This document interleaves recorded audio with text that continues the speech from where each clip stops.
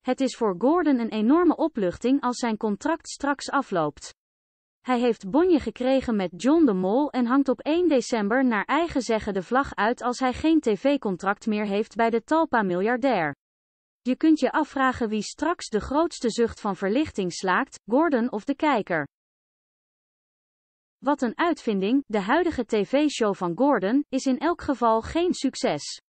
Dit vervolg op de tv-klassieker Het beste idee van Nederland begon vorige week met 483.000 kijkers, 11,5% marktaandeel, en kwam gisteren uit op 389.000 kijkers, 8,9%. Daarmee staat hij op de 20ste plaats in de dagelijkse kijkcijfer top 25. Kijkcijferkenner Tina Nijkamp, die jarenlang zenderbaas is geweest van SBS 6, stelt dat dit erg slecht is. Voor Gordon een enorme kijkcijfertegenslag. Het scoort nu onder de 400.000 kijkers en scoort ook minder dan lachen om homevideo's. Nog erger, maar 5,7% marktaandeel in de commerciële doelgroep 20 tot 54 jaar. Tina vindt het doodzonde dat tv-klassieker het beste idee zo de nek om is gedraaid. Het grootste probleem is volgens haar het studio-element, een fetish van John. Het is vermorzeld door alweer het grote studio-element, uitvindingen zijn geen glitter en glamour. Juist de gewone mensen die in de rode boxen hun idee pitchten, dat was de kracht. Juist dat was het leukste onderdeel van de vroegere show, schreef Tina al eerder op haar kijkcijferjuice-kanaal. Iedereen die wilde kon naar auditiedagen komen en in één minuut het idee pitchen. Die grote hoeveelheid aan ideeën, dat was het succesvolle formatelement. En hoe zit het met het jachtseizoen, dat voorafgaand aan Gordon werd uitgezonden? Gisteren deden Art Royakkers en Geraldine Kemper mee.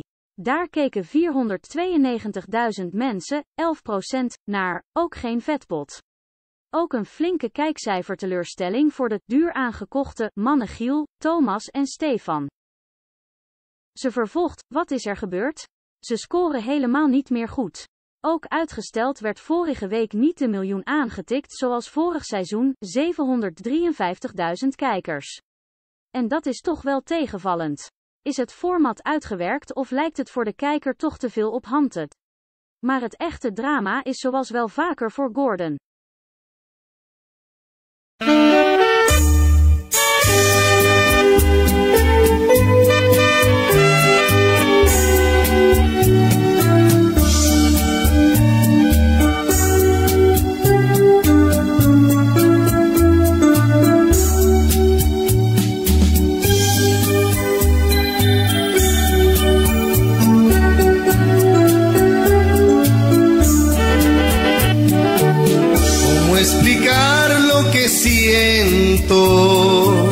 Cuando tú no estás conmigo. Como gritarle a los vientos que me perteneces, que te necesito.